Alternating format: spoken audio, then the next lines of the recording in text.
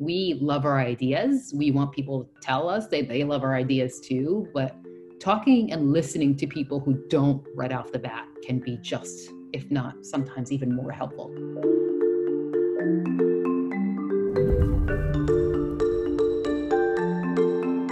In part one of my conversation with Yasmine Mustafa, the co founder and CEO of Roar for Good, she talked about the inspiration behind her company and their product, AlwaysOn, a wearable tracking device that enables hotel staff to alert security. In this second part of our conversation, Yasmine tells how she took that leap from having an idea to actually quitting her job and starting her own company. And she shares some important insights on how she continued to develop her client relationships in one of the most challenging markets in the past hundred years. Yasmine, I'm excited to continue our conversation. This isn't your first venture, so I'd love to hear what are some insights, things that you have learned uh, that another entrepreneur, another uh, leader could maybe glean from? Whether it's the initial startup, how do you get from idea to to launch, or getting your first couple clients? What would be some of the uh, uh hurdles that pop in your mind? That you're like, that was difficult, but you were able to overcome.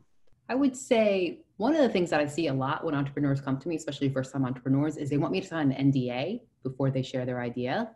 And I will say I was like that at the very beginning, where I was really afraid that someone was going to go steal my idea and I didn't want to share it with other people. And what I learned over time is actually the more I share my idea, the better it becomes based on the feedback that I get from people, but also based on the connections they might have from people that I can talk to, sell to, uh, get advice from, and, and so on. So I think that's a that's a huge one. One, two, three, Linkit, my first company. I had the idea for almost eight months. And before I went and well, on my own to, to work on it full time, I would actually go to all the blogging meetups and I would talk to people and say, Hey, do you advertise on your blog? You know, why not? Um, uh, and and and told them my idea and got feedback on the idea. And I felt like I had enough validation uh, from from doing that primary research um, to allow me the reassurance of taking that next step and, and quitting my, my job to go focus on my first company for the first time. So I think that's a huge one. And then related, at those meetups, what I would do is I would always look for um, disconfirming evidence.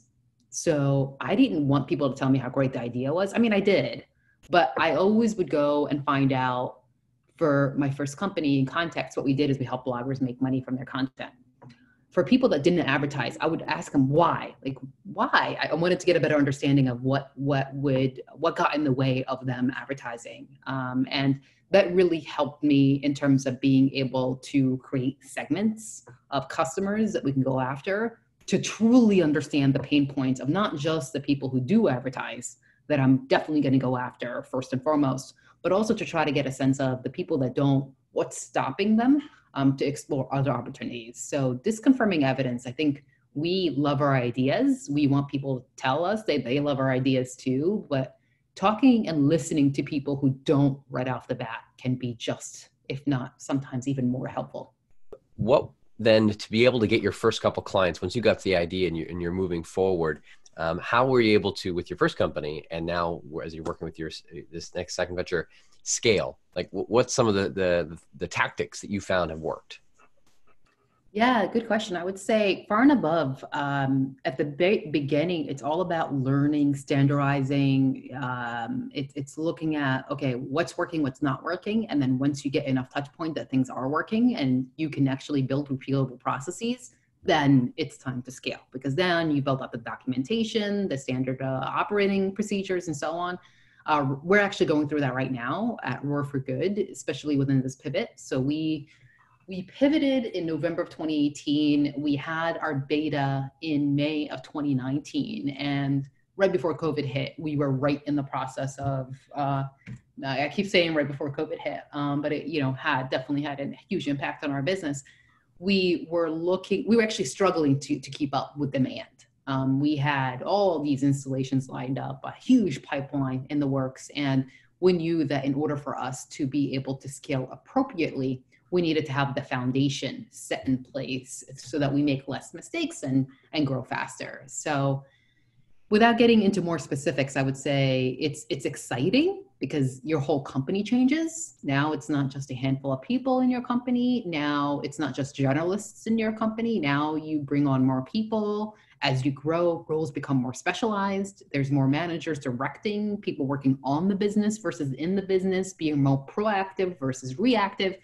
Um, so it's it's really an exciting time, uh, uh, but it can be just as challenging if you're not taking the time to really dot your I's and cross your T's. For you, obviously, constantly looking for new ideas and innovating is just part of what you have to do as a leader. Where do you look for insight? Any books or audiobooks or podcasts or um, places that you read that uh, have helped you grow as a leader and, and keep innovating? Yeah, I well, I would say the first and foremost, healthcare wasn't um, really on top of my mind because I was all focused on hotels. But the first thing that we did is we actually went into the leads that came into our website and we we bucketed them by industry, and we saw that health healthcare was at the top. So that's why we decided to focus on the top. But in, in terms of where I get my inspiration, I belong to a couple peer groups of CEOs, and that's been wonderful, not just to provide me an outlet where I can get feedback on challenges that I'm looking to overcome, but also the other CEOs share their challenges and we all get to participate and learn from their responses. So I think it's been a really great place to be able to grow uh, my, my skills. And, and plus, CEO, I mean, the role is a very lonely role like knowing other people, being able to talk to them about the struggle. Uh, you really do wear most of the burden. so it's always nice to have that support.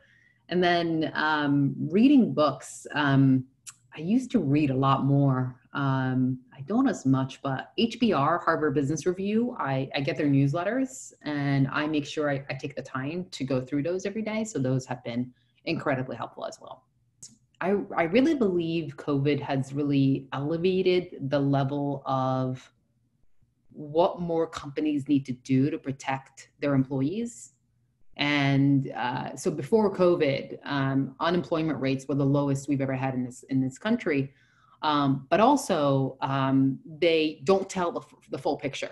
When you look at our, our, gig economy, when you look at how many people uh, have part-time jobs, multiple part-time jobs, which then means uh, they are not being able to survive uh, from one from one job or have opportunity to have a full-time role which then means they don't have the benefits um, to also be able to have health insurance and, and, and basic access to, to healthcare.